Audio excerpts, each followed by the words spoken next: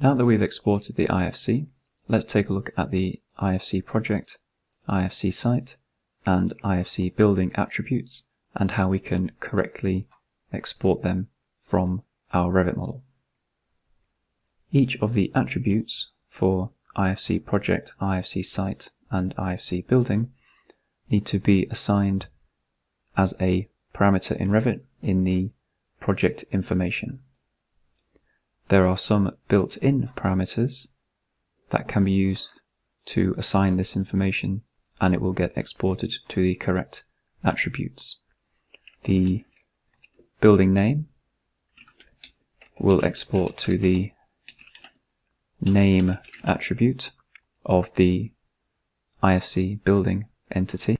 The project status parameter will export the phase attribute for IFC project. The project name parameter will export the long name attribute of IFC project and the project number parameter will export the name attribute of IFC project. I'll go ahead and export the model again. Back in the exported IFC model in DDS CAD Viewer, I can now see that the attributes have been correctly assigned for each of the entities specified in the project parameters. I can see that the long name attribute of IFC building has also been assigned the same as the name attribute. Now I have used some of the built-in parameters, I need to add additional parameters to the project information to be able to export the remaining attributes for IFC project, IFC site, and IFC building. I'll therefore go to my project parameters, select add, and because project information parameters need to be instance parameters, I'm going to change the shared parameter file to the instance shared parameter file.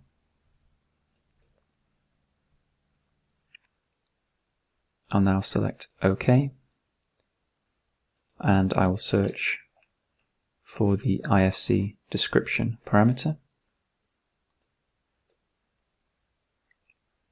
Keep the value as instance. Assign it to the project information category and I need to group the parameter under IFC parameters. Select OK, OK again, and in project information, in the IFC description value, I can type in the IFC project description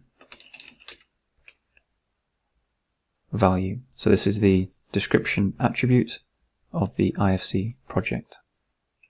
I'll now go ahead and add the rest of the project parameters to the project information.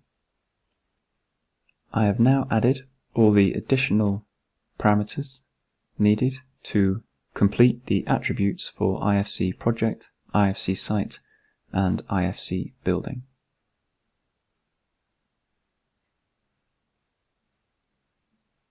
I can click OK and I can then re-export the model and I can now see if I select on IFC project I have the name, description, object type, long name and phase all completed. The same for IFC site and additionally for IFC building. Note that there are additional attributes that have now appeared such as the object type because I've now given these a value within Revit. So that's how to add project parameters to Revit to export the relevant attributes for IFC project, IFC site, and IFC building. There are also some additional IFC site attributes that I can specify within Revit. The ref latitude and ref longitude attributes can be defined in the location properties of the model and are the coordinate locations specified in the project address. And as you can see, I set this to be at the location of the Barcelona Pavilion in Barcelona. There is also a ref elevation attribute, which is currently set to 0 meters. And this is the elevation of the Revit project origin. Here I am in a level 00 floor plan, and if I enable temporary view properties and invisibility graphics, I turn on the project base point and the survey point. The project base point is currently set to an elevation of 0. If I use the coordinates, specify coordinates at point,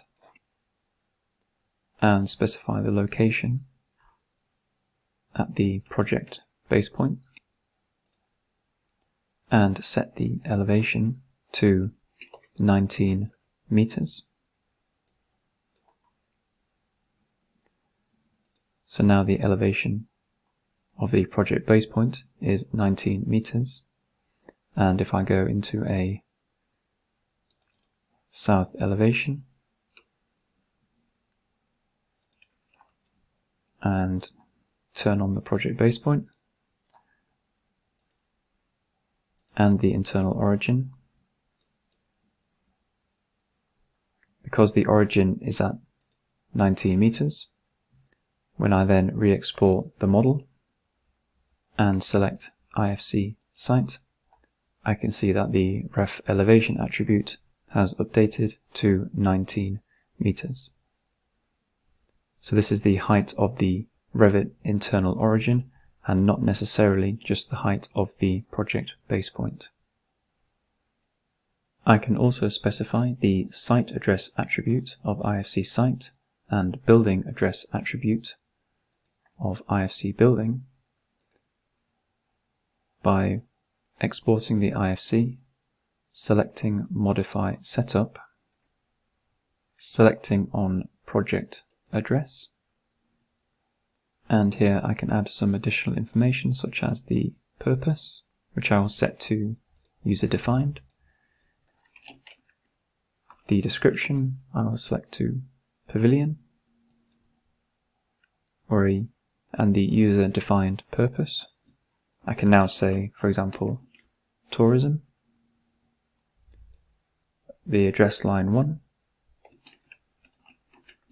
I can type in,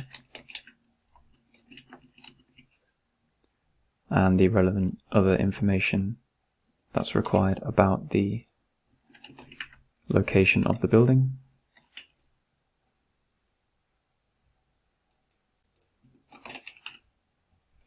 I can also use this information to update the project information and I can assign this address to the IFC building and to the IFC site. I'll click OK and OK again and I will overwrite the IFC.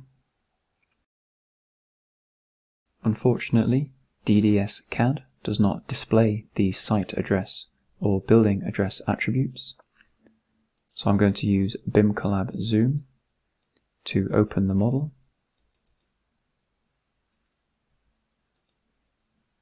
Again, we can start to see how the attributes are being displayed in this viewer.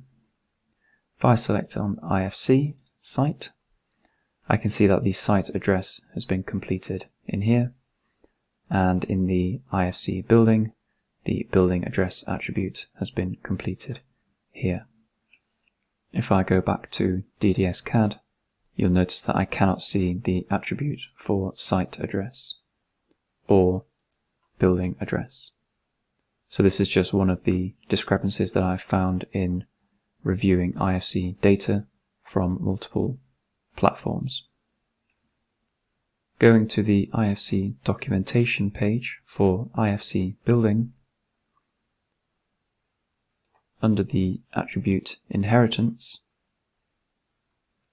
there are two additional attributes called elevation of ref height and elevation of terrain. There is currently no way to export these attributes from within Revit.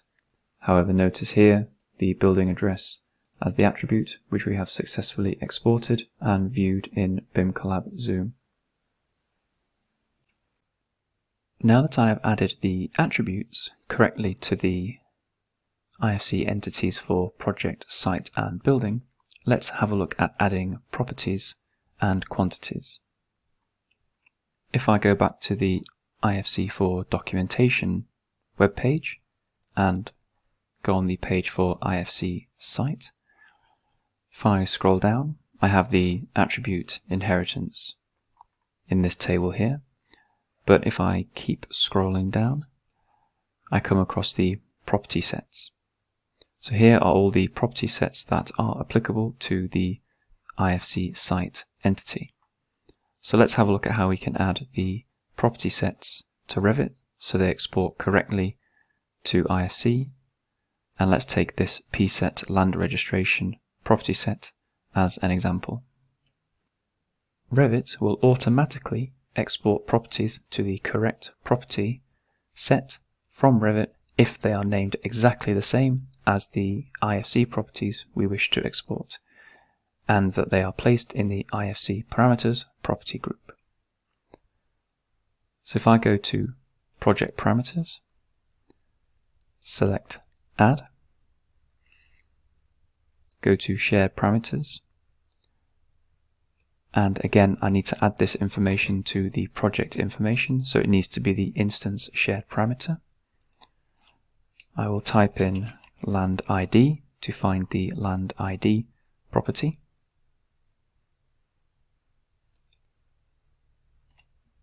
Set to project information and group under IFC parameters.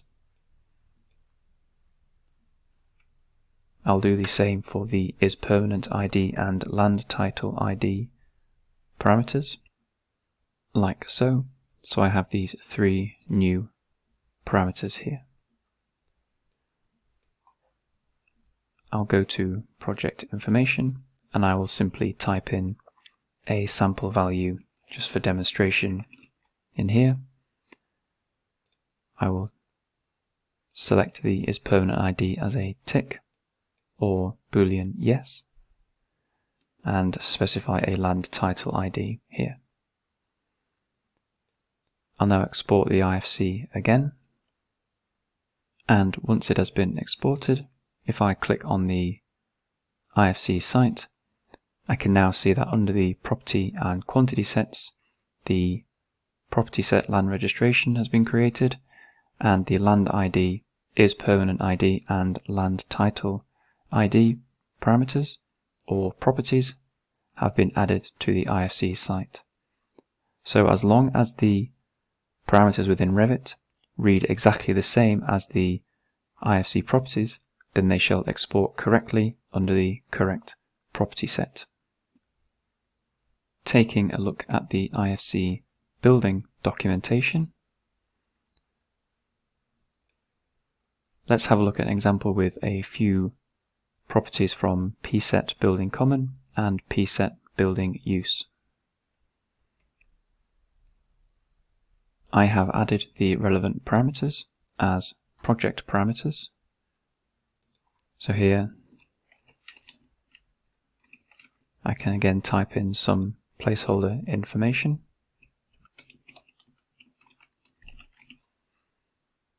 We'll select is landmarked to yes and we'll set the market category as an example to tourism. If I then export the IFC again, and we have a look in DDS CAD, if I select IFC building, I can now see that under the pset building common property set, I have the is permanent ID, building ID, construction method and is landmarked set at the appropriate values and I also have the market category property under pset building use. Note that there are other parameters or properties such as reference and number of stories that have automatically been exported and assigned a value from Revit. The reference is the Revit category here from which the data comes from, so project information, and the number of stories is based on the number of IFC building stories that are contained within the model. I can, however, override these default values.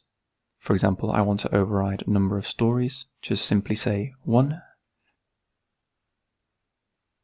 I can simply add a project parameter to project information with number of stories, type in the value of 1.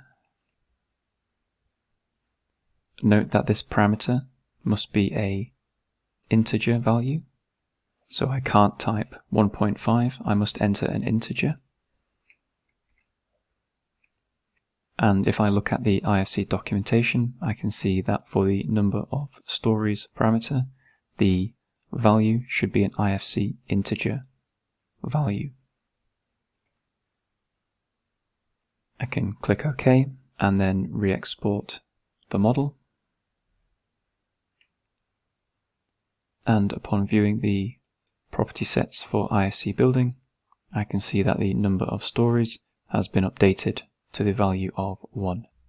So that is how to override the value of a property that Revit automatically exports but has not been defined within the Revit project. There are a number of quantity sets for IFC site and IFC building, such as those contained in the QTO building base quantities. However, at the time of recording, I have not found a way to export the quantities through parameters from Revit.